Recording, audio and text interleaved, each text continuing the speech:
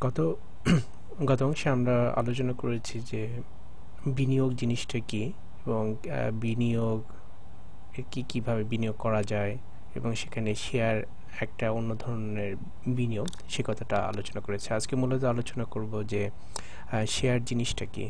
আমরা শেয়ার ব্যবসা করব, কিনবো, বিক্রি করব, কিন্তু এই শেয়ার জিনিসটা কি? সেই জিনিসটা আজকে আলোচনা করব।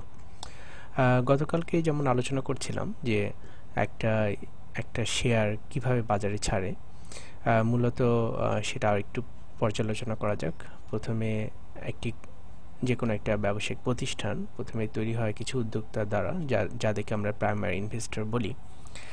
তারা প্রতিষ্ঠানটি তৈরি করে এবং আমি একটা উদাহরণ দিচ্ছিলাম যে জুস তৈরি করা একটা কোম্পানি মনে করা যাক আমরা পাঁচজন মিলে তৈরি করলাম। প্রথমে সবাই এখানে ইনভেস্টমেন্ট করল।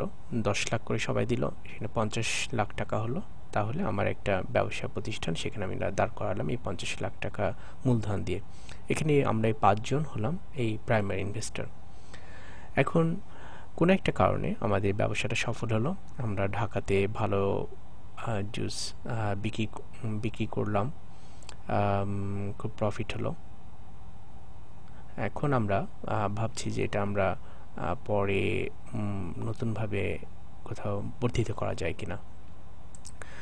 সেজন্য আমরা ভাবলাম যে কিছু টাকা প্রয়োজন বর্ধিত করার জন্য। মনে করা যাক আমি কুমিল্লায় একটা নতুন জুসের কারখানা দিব। এখন তার জন্য আমার টাকা প্রয়োজন। এই ব্যবসাটা সফল হলে আমার একটা প্রতিষ্ঠানকে বাড়াবার জন্য আমার টাকা প্রয়োজন। এখন সাধারণত টাকা নিয়ে, টাকা অনেকভাবে নেওয়া যেতে পারে। যেমন আমি কোনো ব্যাংকের কাছে লোন নিতে পারি কিংবা অন্য কোনো প্রতিষ্ঠানের কাছ থেকে লোন নিতে পারি, অর্থনৈতিক প্রতিষ্ঠানের কাছ থেকে। কিন্তু ব্যাংকের কাছ থেকে লোন নিলে হবে কি আমাকে, আমার একটা মূলধনের একটা অংশ ব্যাংকের কাছে হেফাজত রাখতে হবে কিংবা আমাকে ব্যাংকে আমাকে সুদ দিতে হবে। এর পাশাপাশি আরেকটি উপায় রয়েছে, সেটা হলো বাজারে শেয়ার ছাড়া। অর্থাৎ আমি প্রতিষ্ঠানটির মালিকানার অংশটুকু আমি কাউকে দিয়ে দিলাম বা কিছু শেয়ারের মাধ্যমে কিছু অংশ ভাগ করে আমি ডিস্ট্রিবিউট করলাম। এবং এখানে আমি আমি তখন শেয়ারটা ছাড়লাম বাজারে। অর্থাৎ আমার মালিকানার অংশটুকু কিছু অংশ আমি ছেড়ে দিলাম। মনে করা যাক আমি দশ পার্সেন্ট আমাদের যে, আমাদের মালিকানাটা রেখে আমি দশ পার্সেন্ট ছেড়ে দিলাম। জনগণের কাছে বললাম যে, আমি মালিকানা ছেড়ে দিচ্ছি কিছু অংশ, তোমরা আমাকে টাকা দাও। তখন ওই সাধারণ উদ্যোক্তারা যখন দেখবে যে, না, এই কোম্পানিটা ঢাকাতে খুব ভালো জুস তৈরি করেছে, সুতরাং কুমিল্লাতে যদি জুস তৈরি করে, তাহলে এটা প্রফিট করবে। সে ভেবে তখন তারা এই প্রতিষ্ঠানটা শেয়ার কিনবে। এভাবে একটা প্রতিষ্ঠান তার ব্যবসা এক্সপ্যান্ড করার জন্য শেয়ার বাজারে ছাড়ে এবং উদ্যোক্তারা বা শেয়ার হোল্ডাররা এই শেয়ারগুলো কিনে সেখানে টাকাটা ইনভেস্ট করে। একটা কেন একটা প্রতিষ্ঠান শেয়ার ছাড়তে পারে যেটা পূর্বে পূর্বে উদাহরণ দিয়ে আলোচনা করেছে এটা একটা অঙ্গ প্রতিষ্ঠান বাড়াবার জন্য হতে পারে। যেমন আমি, আমার একটা প্রতিষ্ঠান রয়েছে, আমরা গার্মেন্টস ইন্ডাস্ট্রিতে কাজ করি, কিন্তু আমার এখন সুতা তৈরি করা দরকার। তখন আমি সুতা তৈরি করবার জন্য একটা অঙ্গ প্রতিষ্ঠান আমি তৈরি করতে চাই। কিংবা এটাও একটা নতুন ব্যবসা হতে পারে, যেমন আমার একটা প্রতিষ্ঠান রয়েছে জুস তৈরি করা কোম্পানি তখন আমি ভাবলাম যে, ঠিক আছে জুস তো অনেক তৈরি করলাম, এবার আমি তেলের ব্যবসা করব। তখন এই নতুন ব্যবসা শুরু করার জন্য একটা প্রতিষ্ঠান শেয়ার ছাড়তে পারে। কিংবা একই ব্যবসার শাখা অন্য কোথাও আমি খুলতে চাই যেটা জুসের উদাহরণ বলেছি। যেমন ঢাকাতে আমার একটা ই রয়েছে শাখা রয়েছে আমি এই শাখাটা খুলনা চিটাং বা অন্য কোথাও আমি তার শাখা খুলতে চাই। এভাবে বিভিন্ন কারণে প্রতিষ্ঠানটা তার এক্সপ্যান্ড করার জন্য টাকার প্রয়োজন এবং টাকা সরাসরি ব্যাংক থেকে লোন না নিয়ে শেয়ারের মাধ্যমে তার মালিকানার অংশদারিত্বটা ছেড়ে দিয়ে সেটা শেয়ারে রূপান্তর করে। শেয়ার ছাড়ার সুবিধা হলো যে, একটা প্রতিষ্ঠান যখন শেয়ার ছাড়, শেয়ার ছাড়ে, তার কিছু সুবিধা রয়েছে। যেমন এটা অন্য কোনো থেকে, ব্যাংক থেকে আমি টাকা লোন নেবার পরিবর্তে আমি খুব সহজে এটা পাচ্ছি আমাকে ব্যাংকে টাকা যদি লোন নিতে হয়, সেক্ষেত্রে আমাকে সুদ দিতে হবে কিংবা মূলধন থেকে আমার টাকা পরিশোধ করতে হবে। আবার আরেকটা অসুবিধা হলো যে আমার হয়তো বা অ্যাসেট কিছু ব্যাংকের কাছ থেকে লোন নেওয়ার জন্য সেখানে ব্যাংকের সাথে দায়বদ্ধভাবে থাকতে হবে। তো এই সমস্ত কারণগুলো কিছুটা আমার ব্যবসাকে স্তব্ধ করে দিতে পারে। আবার ব্যাংকের লোনও সুদ রয়েছে, সেই সুদটা দিতে হবে, সেটা একটা বড় অংশ হতে পারে। সেই তুলনায় যদি শেয়ার ছাড়া হয়, সেখানে শেয়ার ছাড়লে আমি শুধুমাত্র আমার অংশীদারিত্ব ছাড়ছি। অংশীদারিত্ব ছাড়ছি, আমার লাভ ক্ষতিটা, আমার হয়তো বা লাভ যেটা হতো আগে যে পুরো অংশটাই আমার নিয়ন্ত্রণে ছিল, এখন সেই পুরো অংশটা আমার নিয়ন্ত্রণে থাকবে না। শেয়ার ছাড়া অসুবিধা হলো যে, এটার মূল উদ্যোক্তাদের প্রতিষ্ঠানটির মালিকানা আমি অন্য কারোর সাথে শেয়ার করে দিচ্ছি। বা আমি বলব যে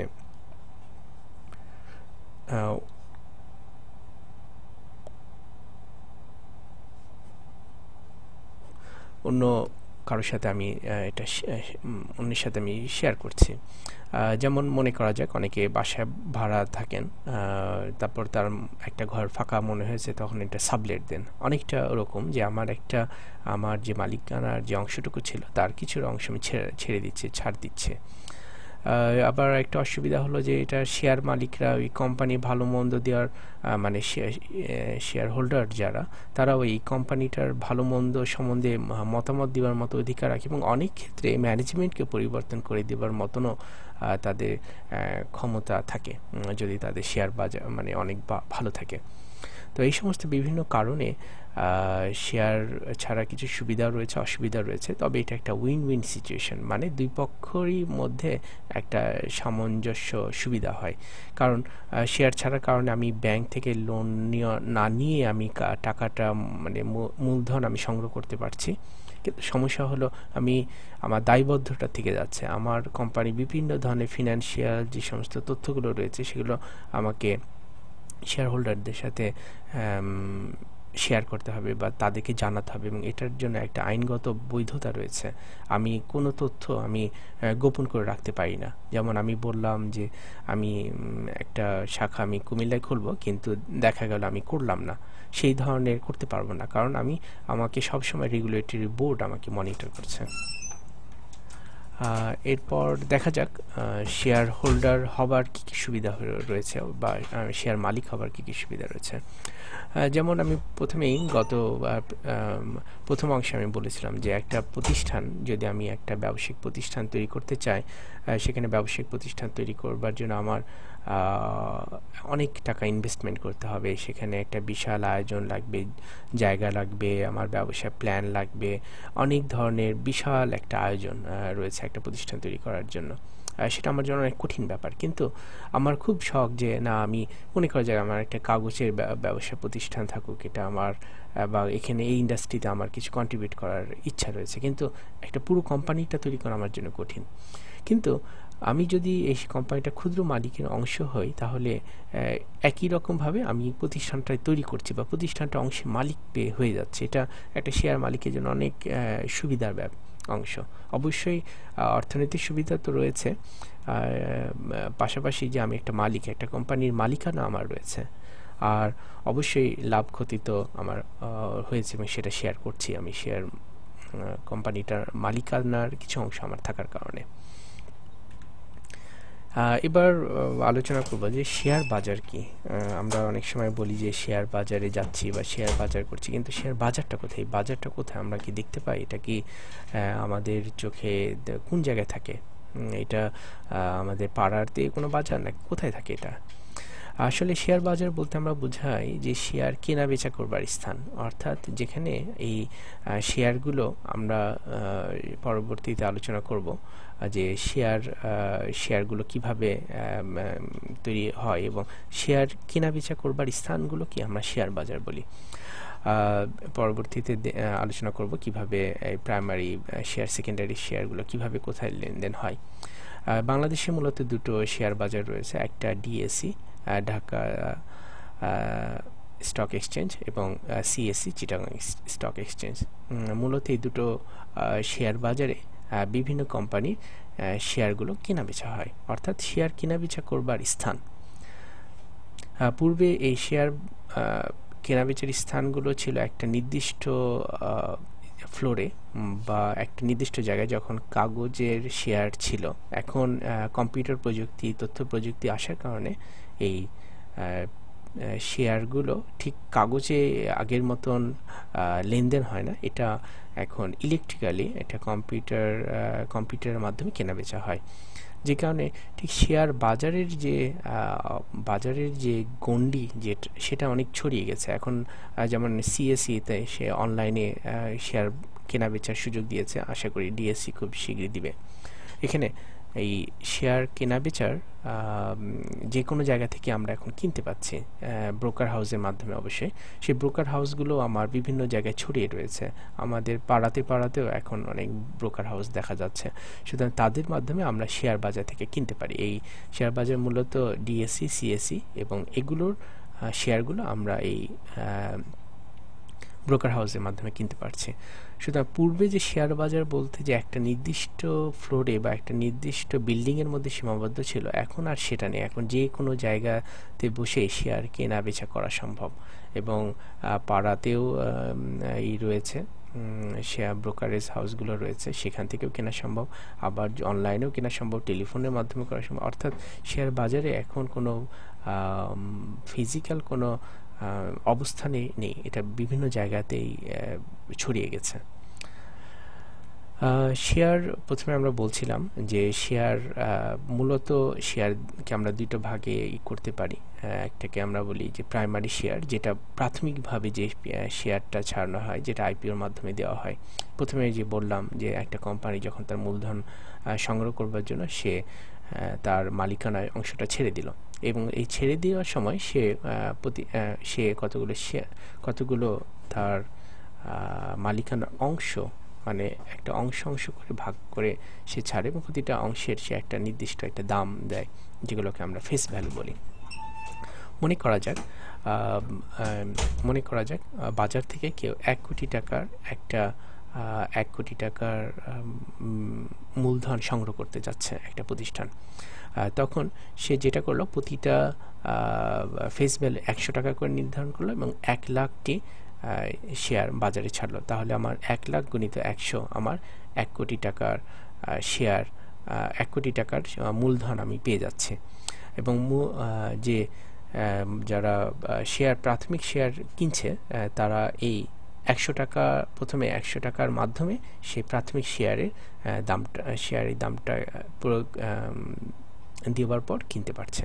এভাবে প্রাইমারি প্রাইমারি শেয়ারগুলো সরাসরি প্রথম, প্রাথমিকভাবে কোম্পানির কোম্পানি থেকেই দেওয়া হয় এবং এটা লটারির মাধ্যমে হয় সাধারণত এবং এগুলো ব্রোকার হাউসে থেকে না কিনে সরাসরি কোম্পানির মাধ্যমে কেনা কোম্পানি থেকে কেনা যায়। এখন সেকেন্ডারি শেয়ার কি? এখন আমি কিছু প্রাইমারি শেয়ারে মনে করা যাক আমি গ্রামীণ ফোনের কিছু প্রাইমারি শেয়ার আমি কিনেছি। কেনার পর আমার, কিছুদিন পর আমার হঠাৎ টাকার প্রয়োজন হলো। তখন আমি ঠিক করলাম যে আমার এই শেয়ারটা আমি বিক্রি করব। তখন আমি এই শেয়ারটা তো আমি গ্রামীণ ফোনের কাছ থেকে কিনেছি এবং গ্রামীণ ফোন আমাকে বলছে যে তোমার একটা ফেস ভ্যালুর বিনিময়ে তোমাকে এই অংশটুকু দেওয়া হলো। তোমার এই কোম্পানি মালিকানা এই অংশটুকু দেওয়া হলো। এখন আমার সেটা, আমি সেটা নিয়েছি, কিনেছি, এটার একটা ভ্যালু রয়েছে, এটা আমি এখন কোথায় বিক্রি করতে পারি? এই বিক্রি করার জায়গাটাই হলো আমার শেয়ার বাজার এবং এখানে আমি তখন এই যে যখন আমার আমার প্রয়োজন, আমি বিক্রি করে দিতে যাচ্ছি, আবার অন্যরা ভাবছে যে এটা যদি কিনে রাখি তাহলে আমার পরবর্তীতে আমার লাভ হবে। এই কেনাবেচা যখন দ্বিতীয় ধাপে যখন কেনাবেচা হচ্ছে তখন এটাকে আমরা বলছি সেকেন্ডারি শেয়ার এবং সাধারণত স্টক এক্সচেঞ্জের থেকে কিনতে হয় এবং এটা ব্রোকার হাউসের মাধ্যমে ব্রোকারদের কাছ থেকে কিনতে হবে।